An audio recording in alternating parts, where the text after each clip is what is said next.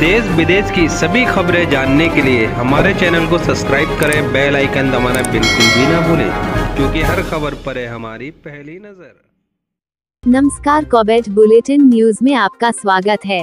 मैं हिना इकबाल खान, चलिए बात करते हैं। आज की खास खबरों की, खबर हल्द्वानी से है। हल्द्वानी में भारतीय जनता पार्टी के स्टार प्रचारक भारतीयता पार्टी के प्रत्याशी डॉक्टर जोगिंदर पाल रौतेला के समर्थन में हरियाणा के मुख्यमंत्री मनोहर लाल खट्टर हल्द्वानी पहुँचे, जहाँ उनका महिला मोर्चा के द्वारा स्वागत किया गया। और पंजाबी महासभा द्वारा उनको पंजाबी पगड़ी पहनाकर उनका सम्मान किया गया। वहीं जनसभा को संबोधित करते हुए मनोहर लाल खट्टर, कांग्रेस पर जमकर बरसे, उन्होंने कहा कि केंद्र सरकार के अंदर हज़ारों साल तक कांग्रेस ने राज किया और 10 सालों तक भारत ने ऐसा प्रधानमंत्री को झेला जो एक रिमोट कंट्रोल पर चलता था। क्योंकि कांग्रेस का वह प्रधानमंत्री केवल गांधी परिवार के इशारों पर चलता था और देश का विकास करने में असमर्थ रहा। उत्तराखंड बनाने में भारतीय जनता पार्टी के प्रधानमंत्री अटल बिहारी वाजपेयी की अहम भूमिका सहयोग रहा। और विशेष पैकेज भी उत्तराखंड को दिया, क्योंकि उत्तराखंड देवों की भूमि है। भारतीय जनता पार्टी केंद्र में आने के बाद देश का चहुमुखी विकास हुआ। नरेंद्र मोदी ने पूरे भारत के अंदर सड़कों से लेकर स्वास्थ्य, शिक्षा में पहल कर सबको ठीक कराया।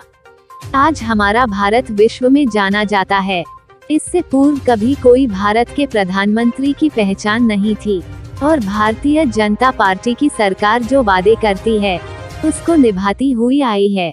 वही आज मनोहर लाल खट्टर ने चुनावी यात्रा की भी शुरुआत की।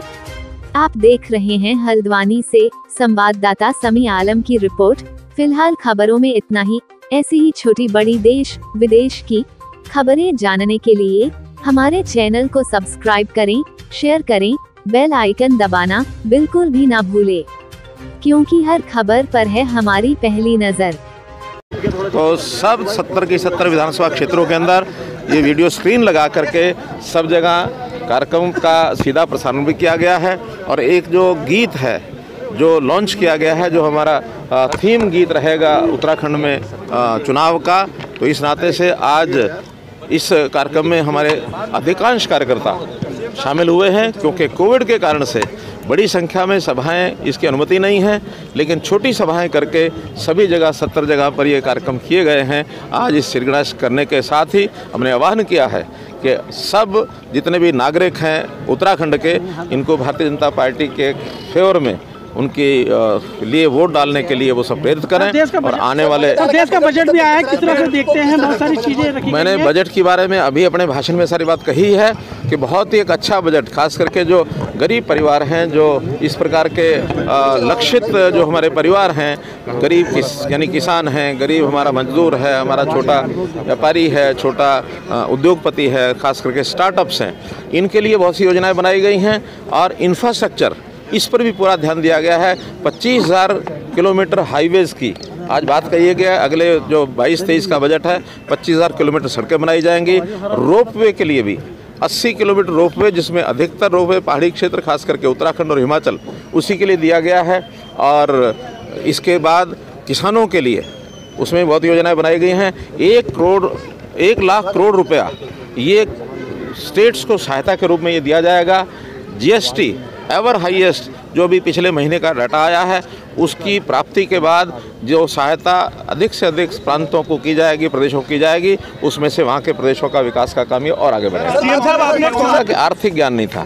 वो आर्थिक आंकड़ों के ज्ञाता थे आर्थिक व्यक्ति के नाते आर्थिक एक जिसको कहना चाहिए कि वो विशेषज्ञ थे ये बात हर कोई कहता है। मैंने ये कहा कि केवल जो आंकड़े होते हैं उसका ज्ञान होना अलग बात है लेकिन वो आंकड़े कम कैसे हो जाते हैं और ज़्यादा कैसे किए जा सकते हैं इसकी जानकारी उनको न थी, क्योंकि ये आज नहीं कह रहे, हम पहले से कह रहे हैं कि वो कि एक विशेषज्ञ तो हो सकते हैं, कि अर्थशास्त्र के विशेषज्ञ होना, लेकिन उसकी योजना बनाना, समाज के लिए अच्छे काम आगे बढ़ाना किस किस चीज़ पर आगे कर सकते हैं, ये उनको जो कि एक रिमोट कंट्रोल से वो चलते थे, और रिमोट कंट्रोल पर चलने वाला व्यक्ति रिजल्ट्स नहीं दे सकता। आज नरेंद्र मोदी, प्रधानमंत्री जी, पिछले आठ वर्ष में